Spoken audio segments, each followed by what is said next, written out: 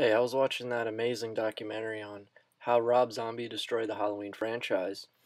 And, you know, of course Rob Rob Zombie's a Capricorn, and he has the kite like me, so he's really lazy sometimes. But he, he also only has three oppositions where I have so many semi-squares and oppositions and regular squares, so that actually gives me challenges. But Rob Zombie is fucking lazy. He, his astrological chart's a perfect description of that, just the kite is like too much energy flowing and no like um, challenges required in his personality. So he doesn't take challenges. Anyway, I just hate him. And this is an amazing documentary. And of course, John Carpenter is also a Capricorn. So I can't hate on Capricorns because back then, you know, we needed that kind of, you know, special effects, ooh, in your face. But nowadays, we're learning to keep our composure. And Capricorns just try way too hard. Like, Lady Gaga's Mars in Capricorn pisses me off, you know like Wes Borland from Limp Bizkit, like everything's in Capricorn. He just looks weird, but he's not, you know, talented per se. Um, but yeah, so I was I was wondering why the fuck would Harvey Weinstein, you know, want to get money with Rob Zombie because that whole movie's about how they just wanted to make money despite any artistic, uh, you know, value uh, anyway, so I was like, well, I know he's not a Capricorn, so I looked him up and he's a Pisces dragon.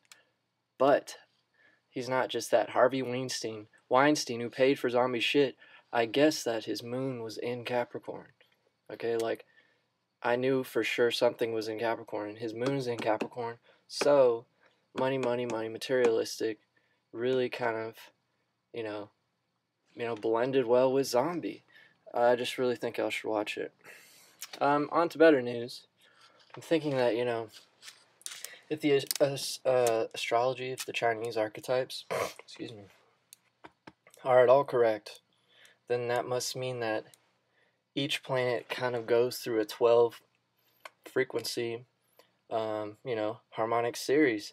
And like, if all the planets correspond to Mayan mathematics and every planet co corresponds to the fractal of 260, you know, 26, then uh, then life form on other planets must have to also correspond to this mathematical formula. And since the Tzolk'in 260 corresponds to the DNA double helix spiral, it makes sense that the planets would help the formation of life on a specific planet, you know, so to speak. Or all circular objects maybe perhaps pertain to 26 and we don't know it yet. But the fact that each planet corresponds is very insane. And I'm wondering if, you know, Chinese astrology is correct because, you know, the I Ching, the lunar calendar corresponds to all that stuff as well. That if if there's 12 essential animals for every life force, for every life um, inhabiting planet, like like think about it. If, you know, if there's like a universally a lizard and a rat and a dog and a pig and a horse on every planet, you know, just kind of different forms, but that's that same universal archetype um, I find it very interesting to think about. Uh, and it gives me hope that there is other life forms. Um, go Avatar.